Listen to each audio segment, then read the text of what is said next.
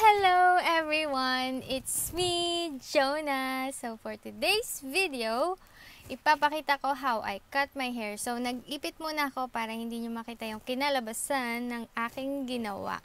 So if you wanna see how I do it, please continue Oops! watching. Bago nyo pala panoorin, sa mga hindi pa nagsisubscribe sa akin, please subscribe po kayo sa aking channel and mag-like na rin kayo and i-share nyo na rin tong video na to kung nagustuhan nyo. So, pindutin nyo na lang yung notification bell para lagi kayong updated sa aking mga videos. So guys, please enjoy watching! Mwah!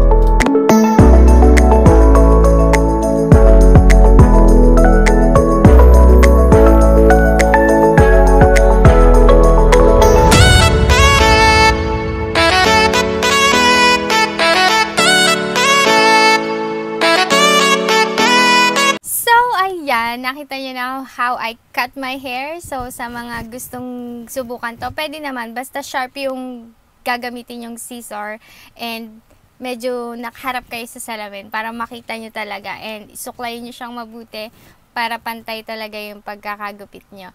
And, ayun na nga, usually ginagawa ko yung pag-titrim ng hair ko twa- ah, once every two months.